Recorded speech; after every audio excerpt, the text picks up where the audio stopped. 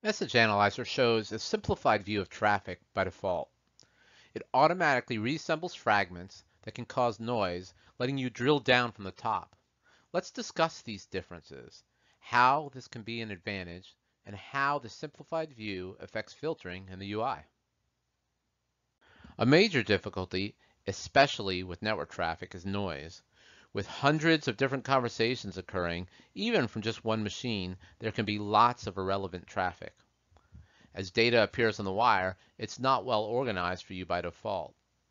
And related messages can be adjacent, but more likely intermixed with other conversations and network traffic.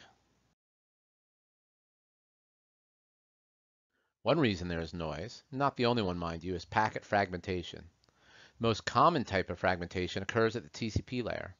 Network pipes can be small, meaning that you can only send a small chunk of data at a time, around 1500 bytes for Ethernet.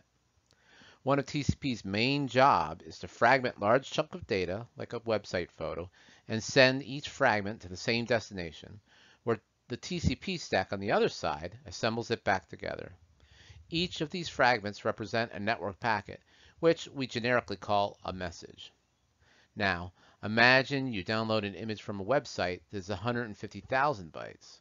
At the very least, that means 100 fragments to send the image, which equates to a lot of noise, especially if you're interested in only the application level perspective.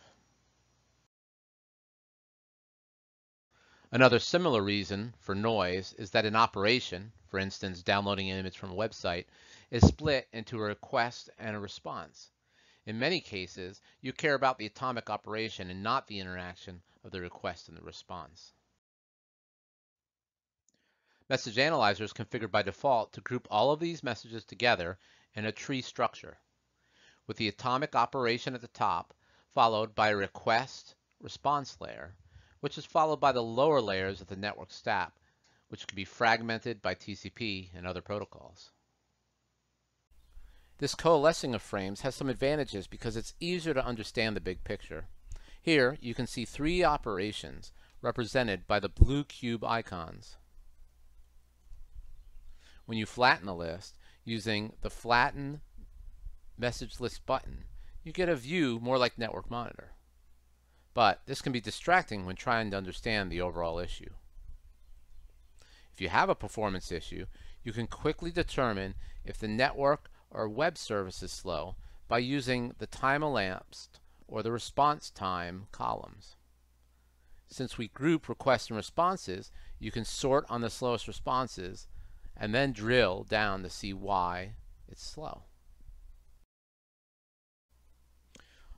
Also realize that each row in the grid also represents the tree of messages that is visually represented in the message stack view. You can see this in the analysis grid by expanding the tree structure there. The request and response map to the request and response in the message stack view. And the same goes for the rest. For instance, the TCP fragments in the response analysis grid map to this section in the message stack. Since there are so many, we can't show you a summary. However, hovering over a message will provide a tooltip, and clicking on that box brings the message up in the details window and shows you the specifics there. This tree structure poses a problem with filtering, which is one of your primary tools for getting rid of noise. Filtering, as you may or may not know, uses an expression to display messages that match. For instance, you can filter to show only HTTP messages or traffic matching a specific TCP port. When you apply the filter, the results return all the network frames and messages that match that expression. But what happens since each line is compressed and represents a tree? How do you filter a tree? The way we handle this with Message Analyzer is that when you apply a filter, the expression matches when any of the nodes of the tree match. An advantage is that you get a huge performance boost because you don't have to query every fragment. If we search for port 49198, we only have to search three messages before we find a hit. And since we've already grouped these messages together, we find the other related fragments automatically. Many filters work like you expect. And filtering from the top of the tree works well when you're looking for bidirectional traffic or filtering out a specific protocol like HTTP. But the problem occurs when you need to filter out a single fragment or fragments from this tree view.